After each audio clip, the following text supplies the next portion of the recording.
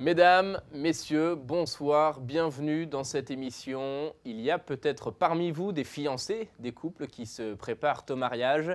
Eh bien, le temps des fiançailles, précisément, c'est le sujet du jour au Vatican. Le pape y a consacré sa catéchèse ce matin lors de l'audience générale. Place Saint-Pierre devant des milliers de fidèles, il a rappelé que le mariage ne s'improvise pas. Au contraire, l'union d'un homme et d'une femme s'apprend, s'approfondit et se perfectionne. Comment donc préparer un bon mariage chrétien Élément de réponse dans cette catéchèse dont on écoute un résumé. Frères et sœurs, aujourd'hui je parlerai des fiançailles. La liberté du lien du mariage demande que la décision soit prise de manière consciente et ne repose pas seulement sur l'attraction et le sentiment.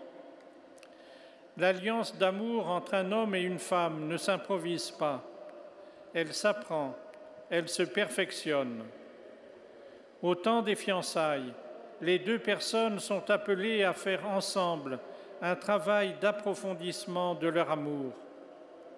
Faire de deux vies une seule vie est un miracle de la liberté et du cœur confié à la foi.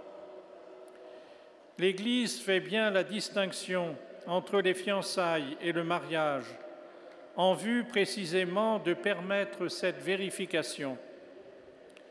Les liens charnels ne peuvent pas être traités à la légère, sans ouvrir des blessures durables dans l'esprit.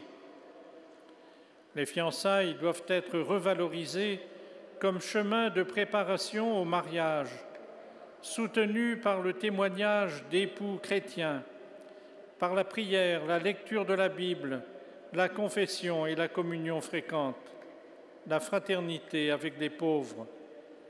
C'est ainsi que se prépare un bon mariage chrétien. Et puisqu'on parle de mariage en Irlande, vous le savez, le mariage homosexuel vient d'être adopté par euh, référendum avec 62% d'avis favorables. Le secrétaire d'État euh, du Saint-Siège a réagi. Monseigneur Paroline se dit triste du résultat. Il estime, je cite, que l'adoption du mariage homosexuel n'est pas seulement une défaite des principes chrétiens, mais une défaite pour l'humanité. L'Église, poursuit-il, doit tenir compte de cette réalité. Elle doit tout faire pour défendre la famille. Direction maintenant la Terre Sainte, où l'Église, comme partout ailleurs ce week-end, de célébrer la fête de la Pentecôte. À Jérusalem, la cérémonie a une importance particulière. Des chrétiens venus du monde entier se sont rassemblés au Cénacle sur le Mont Sillon. Reportage sur place avec la custodie de Terre Sainte.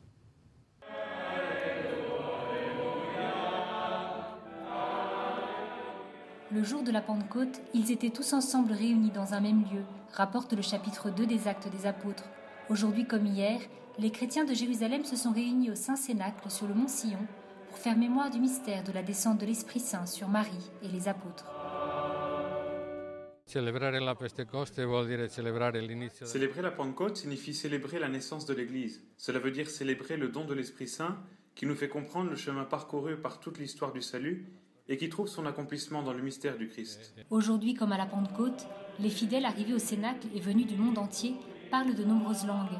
Ainsi, chacun, lors de la prière du Notre Père, s'est exprimé dans sa propre langue.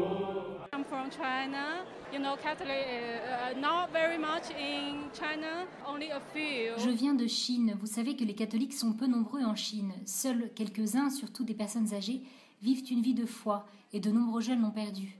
Nous ne sommes pas de la même famille, mais l'atmosphère de foi qui nous unit nous fait sentir comme une seule famille. C'est l'amour qui nous unit. C'est ça d'être chrétien. Je m'appelle Guillaume. Euh, je suis français, j'habite en ce moment en Russie. Les chrétiens sont majoritaires, mais les catholiques sont très minoritaires. Et euh, c'est très intéressant de vivre à côté justement des orthodoxes et de découvrir aussi la, façon dont ils vivent leur foi. Je viens des Philippines. Nous avons la mission de répandre la bonne nouvelle que Jésus est vivant et que nous ne devrions pas perdre notre espérance en ces temps difficiles. Nous devrions toujours avoir de l'espérance parce que Jésus a promis qu'il serait avec nous pour toujours. Voilà, c'est la fin de cette émission. Merci d'avoir été avec nous. À suivre sur Celles et Lumières, l'audience générale. Je vous souhaite à tous une très belle soirée. À demain.